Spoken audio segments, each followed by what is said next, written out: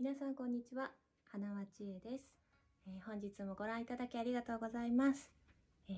前回のお家で演奏津軽よされ節に引き続きまして、えー今日は第2弾ということで、え私が生まれて初めて作ったオリジナル曲、ダット演奏したいと思います。え逃げるうさぎと書いて、ダットと言うんですけれども、え私のデビューアルバム、月のうさぎに収録されている、えー曲で、えーレコーディングしながら、もうアドリブ的にその場で、えー次のフレーズ作ったりして、えードタバタで、えー制作した、すごく思い出のある曲になっております。では、聴いてください。